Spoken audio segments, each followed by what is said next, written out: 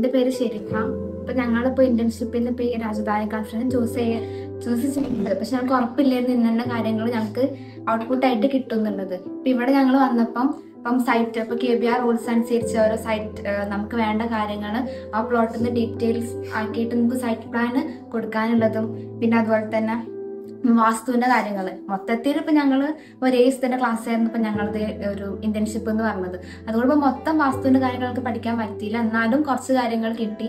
അപ്പൊ അതും പിന്നെ ഞങ്ങൾക്ക് ഇപ്പൊ നമ്മുടെ സ്ട്രക്ചറൽ ഡിസൈൻസ് അനുസരിച്ച് നമുക്കൊരു സർക്കിൾ പോയിട്ടുണ്ടെങ്കിൽ അവിടുത്തെ റെൻഫോഴ്സ്മെന്റ് കിട്ടിയതും അവിടെ കൊടുത്തിട്ടുള്ള ഈ റെൻഫോഴ്സ്മെന്റിന്റെ അതർ ഡീറ്റെയിൽസ് ഒക്കെ നോക്കുമ്പോൾ കറക്റ്റ് ആണോ എന്നുള്ളതൊക്കെ നമുക്ക് എങ്ങനെ ചെക്ക് ചെയ്യാന്നുള്ള കാര്യങ്ങളൊക്കെ ഇപ്പൊ ഞങ്ങൾ ഇതിന്ന് പഠിച്ചു.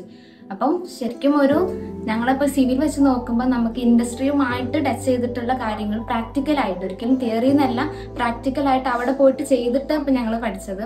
അപ്പം അതൊക്കെ അതൊക്കെ വെച്ച് നോക്കുമ്പോൾ ഞാൻ എന്റെ സജഷൻ പറയുകയാണെന്നുണ്ടെങ്കിൽ ഇവിടെ വരുന്ന കുട്ടികൾക്ക് ഒരിക്കൽ പോലും ഒരു എന്താ പറയാ നല്ലൊരു ഇതാണ് ഇവിടുന്ന് കൊടുക്കുക.